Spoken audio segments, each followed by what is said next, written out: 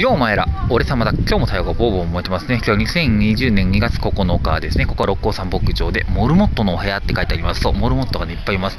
いろんなね、模様のね、モルモットがいっぱいいますね。で、そこはなんかおしっこ用の台があって、この子たちね、名前がね、1匹ずつあるみたいですね。海苔とかナッツとかね、美味しそうな名前のもいますし、パンツっていうちょっと、ね、なんか下着っぽい名前の子もいますし、で、そう、もも、あ、ももっていうと俺様ね、池袋 BL 男子学園のももくんがすごく可愛いと思ってるんですけど、あの、同じ名前ですね。モップとかね、おかき、あ、おかきもね、美味しそうですよね。おつやですよね。はい、ということでね、そう、モルモットがいっぱいいます。六甲山牧場のモルモットです。はい、あ、みんな寝てますね。お昼寝の時間。あ、寝てる子もいれば、下でなんか笹、笹みたいなの食べてる子もいますね。